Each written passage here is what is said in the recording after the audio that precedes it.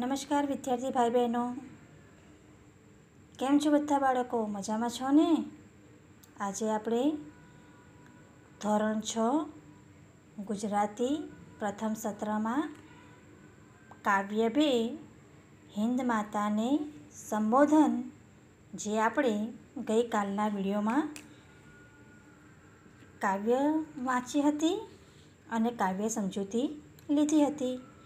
તો આજે આપણે હિન્દ માતાને સંબોધન એ કાવ્યનો સ્વાધ્યાય કરીશું. તો જો વિદ્યાર્થી ભાઈ બહેનો સ્વાધ્યાયમાં પ્રશ્ન એક, જેમાં સાચા વિકલ્પ શોધીને ખાનામાં તમારે લખવાનું છે. તો સવાલ આપ્યો છે કે આ કાવ્ય કોને સંબોધીને લખાયું છે? ધરતીને, હિન્દ માતાને, હિન્દને કે સૌ સંતાનને? તો કાવ્ય આપણે શીખ્યા હતા. તો આ કાવ્યમાં કવિ હિન્દ માતાને સંબોધીને લખાયું છે. કવિ હિન્દને કોની ભૂમિ તરીકે ઓળખાવે છે? વેદોની, દેવોની, કૃષ્ણની કે પુણ્યને? તો કવિ હિન્દને કોની ભૂમિ તરીકે ઓળખાવે છે? તો એમાં પણ ગ આવશે દેવોની હવે જુઓ વિદ્યાર્થી ભાઈ બહેનો કે નીચેના પ્રશ્નોના ઉત્તર એક એક વાક્યમાં તમારે આપવાના છે. કવિ વંદન સ્વીકારવાનું કોને કહે છે? તો કવિ વંદન સ્વીકારવાનું. હિન્દુસ્તાનની દેવભૂમિને કહે છે, હિન્દ માતા સંતાનોનું પોષણ કેવી રીતે કરે છે? તો હિન્દ માતા સારું અને પૌષ્ટિક ખાવા પીવાનું આપીને સંતાનોનું પોષણ કરે છે. ત્રીજો સવાલ છે કે આ કાવ્યમાં કયો ભાવ રજૂ થયો છે? તો હિન્દુસ્તાનમાં રહેનારા સૌ સમાન છે. સૌએ પરસ્પર પ્રેમ રાખવો તથા એકબીજાની મદદ કરવી જોઈએ. એવો ભાવ આ કાવ્યમાં રજૂ થયો છે. હવે વિદ્યાર્થી ભાઈ બહેનો હવે આપણે સ્વાધ્યાયના પ્રશ્નો સોલ્વ કરીશું. પ્રશ્ન એક, નીચેના પ્રશ્નોના ઉત્તર લખો. કાવ્ય સમજૂતીના આધારે પ્રશ્નોના જવાબ તમારે લખવાના છે. કે ભારતમાં કયા કયા ધર્મ પાળતી પ્રજા વસે છે?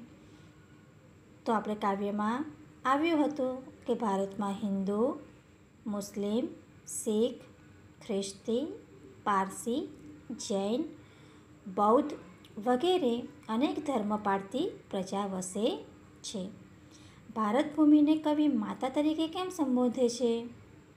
તો જે રીતે માતા બાળકનું પોષણ કરે છે, એ જ રીતે ભારત માતા પણ જીવનને જરૂરી એવા તત્વો જેવા કે ખોરાક અને પાણી આપે છે.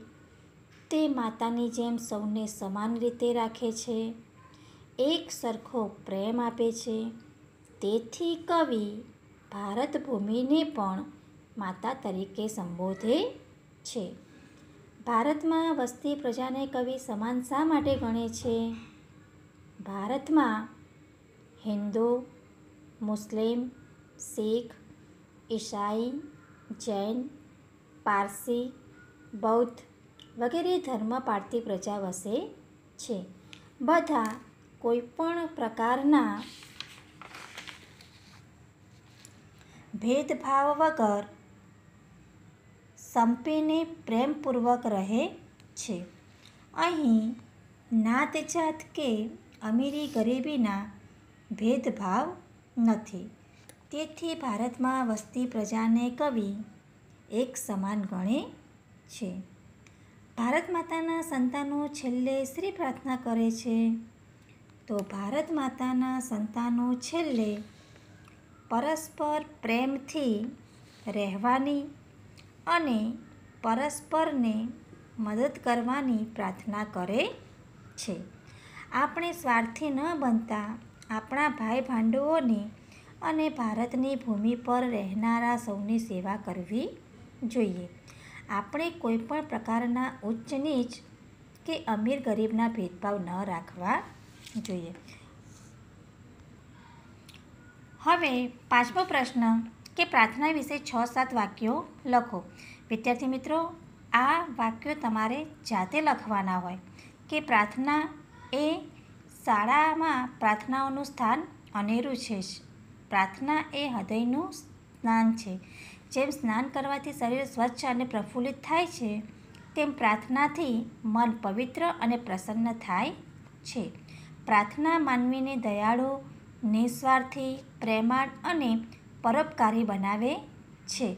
પ્રાર્થનાથી ધૈર્ય અને હિંમત કેળવાય છે તથા જીવનના સંકટો સામે જજમવાની નવી શક્તિ મળે છે. નિયમિત પ્રાર્થના કરનારને પ્રાર્થનામાં અજબ શક્તિનો અનુભવ થાય છે. આમ પ્રાર્થના દ્વારા જીવનમાં અનેક ગુણો સાહસિક રીતે કેળવાય છે. વિદ્યાર્થી મિત્રો, પ્રાર્થના વિશે છ સાત વાક્યો તમારે તમારી રીતે જાતે લખવાના છે. આ મેં તમને જે રીતે કહ્યા, આ રીતે મોઢે કરીને લખશો તો પણ ચાલશે. હવે જુઓ પ્રશ્ન બેમાં કે માંગ્યા મુજબ વિગતો તમારે લખવાની છે. તો વિગતોમાં લખ્યું છે, ધર્મનું નામ, એના ધર્મગુરુ કોણ છે? એનો ધર્મ ગ્રંથ કયો છે?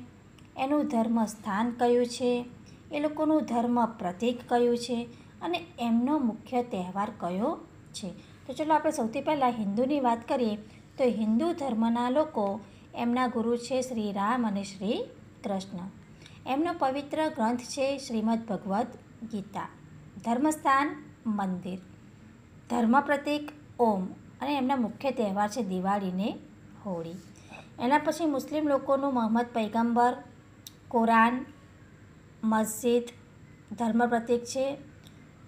અડધા ચાંદની ઉપર સ્ટારની નિશાની અને એમનો મુખ્ય તહેવાર છે ઈદ એ મિલાદ અને મોહરમ. શીખ લોકોના ધર્મગુરુ છે ગુરુ નાનક, ધર્મગ્રંથ ગુરુ ગ્રંથ સાહેબ, ધર્મસ્થાન ગુરુદ્વારા. ધર્મ પ્રતિક છે તેરનો અંક. અને એમનો મુખ્ય તહેવાર છે ગુરુ પર્વ નાનક જયંતિ. એના પછી ખ્રિસ્તી ધર્મના લોકોનું ધર્મગુરુ ઈસુ ખ્રિસ્ત, બાઇબલ, ધર્મસ્થાન ચર્ચ દેવળ, નિશાની છે પ્લસથી નિશાની. મુખ્ય તહેવાર છે નાતાલ અને ગુડ ફ્રાઈડે પારસી લોકોનો ધર્મગુરુ છે અશો જર થુષ્ટ્ર ધર્મગ્રંથ છે જંદ અવેસ્તા ધર્મસ્થાન અગિયારી, જેમાં અગ્નિ પ્રગટાઈ છે, એ એમનું ધર્મનું પ્રતીક છે અને એમનો મુખ્ય તહેવાર છે નવરોજ. જૈન ધર્મના લોકોનો ધર્મગુરુ મહાવીર સ્વામી, ધર્મગ્રંથ કલ્પસૂત્ર, ધર્મસ્થાન દેવરાસર, સ્વસ્તિકની નિશાની, મહાવીર જયંતિ અને સંવંતરી સંવત્સરી એમનો મુખ્ય તહેવાર છે. બૌદ્ધ ધર્મના લોકોનો બૌદ્ધ ગૌતમ બુદ્ધ, ત્રિપિટક એમનું ધર્મગ્રંથ, મઠ એમનું ધર્મસ્થાન, સંત ગુરુજી બેઠેલા દેખાય છે, એ એમના ધર્મનું પ્રતીક છે અને બુદ્ધ પૂર્ણિમા એ એમનો મુખ્ય તહેવાર છે. હવે જો વિદ્યાર્થી ભાઈ બહેનો શબ્દોના વિરોધી શબ્દો કોષ્ટકમાંથી શોધીને લખવાના છે, આ પ્રવૃત્તિ તમારે જાતે કરવાની છે. જેમાં કોષ્ટકમાં વિરોધી શબ્દના જવાબો આપેલા છે જે તમારે ગોતીને ગોળ રાઉન્ડ કરવાના છે. ગોળ રાઉન્ડ કર્યા પછી તમારે વિરોધી જાતે લખવાના છે. જ્ઞાની, અજ્ઞાની, તવંગર, ગરીબ, સમાન, અસમાન, નિરોગી, રોગી, ઉચ્ચ, નીચ, સાક્ષર, નિરક્ષર. કાવ્ય પંક્તિ પૂર્ણ કરો પ્રશ્ન ચારમાં. એ તમારે કાવ્યમાંથી જોઈને આ કાવ્ય પંક્તિ પૂર્ણ કરવાની છે. પ્રશ્ન પાંચમાં, વિવિધતામાં એકતા. વિશે શિક્ષકની મદદથી આઠ દસ વાક્યો લખવાના છે, જે હું તમને આવતા વિડીયોમાં લખાવીશ. ત્યાં સુધી તમે લખાયેલું સ્વાધ્યાય કરાયું એ તમે અત્યારે હાલ તૈયાર કરશો